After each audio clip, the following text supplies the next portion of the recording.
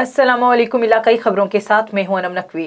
और मैं हूँ मुशर्रफ यासीन। सबसे पहले खबर शामिल करते हैं हैदराबाद से। पीपल्स पार्टी के रहनमा सईद गनी की जेर सदारत खुली कचहरी का इनका किया गया। इस मौके पर उनका कहना था कि खुली कचहरी का सिलसिला जारी था, जो कोविड के बायस तातुल का शिकार रहा। चेयरमैन बिलावल भुट्टो जरदारी की हदायत पर वजी अला सिंध ने तमाम वजरा, मशीरान और मामले खसूसी को मुख्तलिफ़ अजला में तैनात किया है। उन्होंने मजीद कहा, खुली के चेहरी तकरीर के लिए नहीं, बल्कि मसाइल के हल के लिए है। आज अगर किसी भी महकमे का कोई अफसर नहीं आया तो कमिश्नर हैदराबाद उनको फौरी मअतल करने के अहकाम दे। अफसोसनाक खबर शामिल करते हैं गुजरावाला से, जहाँ थाना लधेवाला वड़ाइच में तैनात एएसआई जकाउल्ला अपने क्वार्टर में मुर्दा हालत में पाए गए। पुलिस के मुताबिक एएसआई जकाउल्ला को फायरिंग करके कत्ल किया गया। लाश को पोस्टमार्टम के लिए अस्पताल मुंतकिल कर दिया गया है। जकाउल्ला ड्यूटी खत्म करके अपने प्राइवेट क्वार्टर में आराम के लिए गए थे। नंबर बंद मिलने पर एहलकार उनके क्वार्टर गए, जहाँ उनकी लाश मिली। मियाँ चन्नू के नवाही गाँव जंडियाली बंगला में रात गए शादी से वापसी पर बारातियों से बड़ी बस हादसे का शिकार हो गई। मुतद अफराज जख्मी। इसी हवाले से मजीद तफसी जान लेते हैं नवीद अब्बास अंसारी की इस रिपोर्ट में। जी, बिल्कुल। तहसील मियाँ चनू के इलाका मोहल्ला हसनैनाबाद से ये गाड़ी बारात के साथ विहाड़ी पहुँची थी। ताहम विहाड़ी से वापसी पर रात गए जंडियाली रोड पर निन्यानवा पंद्रहल गाँव के करीब बस के साथ हादसा पेश आया। तफसीलात के मुताबिक सामने से आती हुई मोटरसाइकिल को बचाते हुए ये हादसा पेश आया। जिसके नतीजा में दो खातन समेत सात अफराज शदीद ज़ख्मी हुए। ताहम रेस्क्यू की टीम ने इब्तदाई तबी अमदाद के बाद ज़ख्मी अफराद को टी एच क्यू हॉस्पिटल मियाँ चन्नू मुंतकिल कर दिया। जी, Naveed Abbas Ansari Jandiali Bangla, Mian Channu.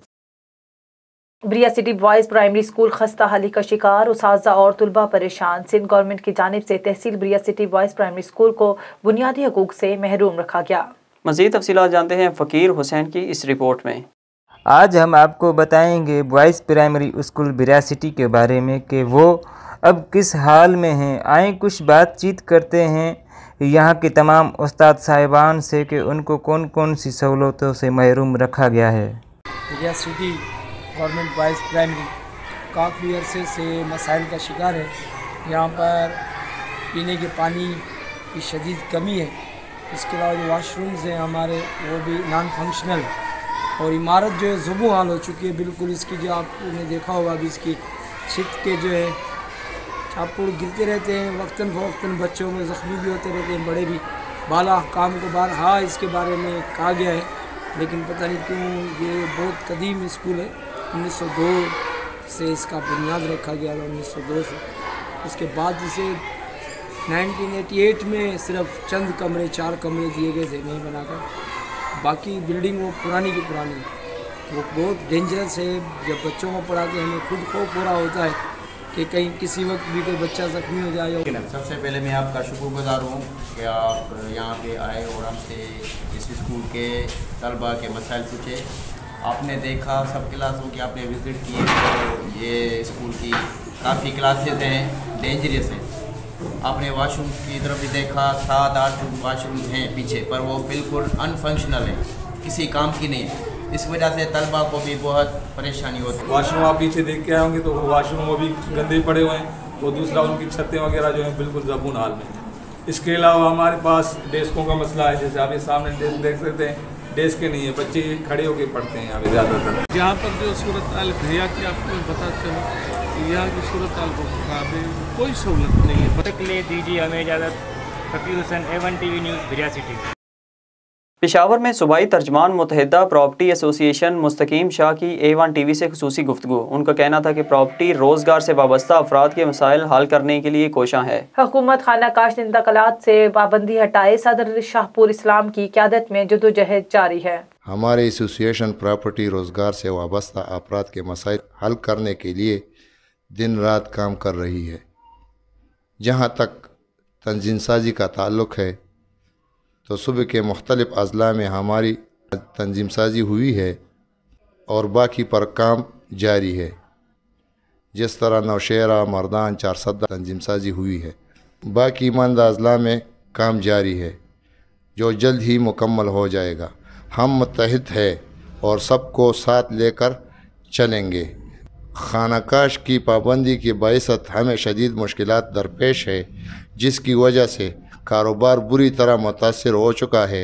हमारे हुकूमत वक्त से ये मुतालबा है कि खानाकाश की पाबंदी हकीकी मानों में उठाए, ताकि हमारा हलाल कारोबार रोज़गार आगे बढ़ सके। सजावल में DIG east zone Saqib Ismail Memon ने नाजमुद्दीन टोक्यो कातिल केस की शफाफ इंक्वायरी के लिए आठ रुकनी कमेटी बना दी। कमेटी में S S SSP Malir SSP investigation Malir SSP investigation east zone समेत दीगर अफसर शामिल हैं। अहमद शोरो, हैदर अली और मेहर अली के खिलाफ शफाफ इंक्वायरी करने और रिपोर्ट जल्द अज जल्द पेश करने की हदायत जारी। कमेटी के सरबराह S S P Malir Irfan Bahadur को बनाया गया है।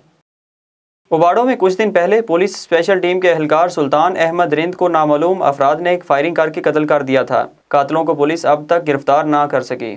कातलों की अदम गिरफ्तारी के खिलाफ रिंद बरदरी सियासी समाजी अफराद मुकला बरदरी और ताजर बरदरी ने उबाड़ो में एहतजाजी रैली निकाली। मुजाहरीन का कातलों की गिरफ्तारी का मुतालबा। IG national highways and motorway police Inam Ghani के विजन के मुताबिक डीआईजी जोनल कमांडर फिदा हुसैन मस्तोई के अहकाम की रोशनी में sector commander SP Rana Sarfaraz की हदायत पर मुल्तान सखर मोटरवे पर चलने वाली तमाम छोटी बड़ी गैर कानूनी नंबर प्लेट वाली गाड़ियों के खिलाफ क्रैकडाउन का आगाज़ कर दिया गया है। इस मौके पर डीएसपी लाइन हेडक्वार्टर का कहना था कि मोटरवे या हाईवे पर किसी भी मदद या शिकायत की सूरत में हेल्पलाइन वन थ्री ज़ीरो या smartphone application Hum Safar app से भी मदद ली जा सकती है। इलाकाई खबरों से फिल वक्त इतना ही।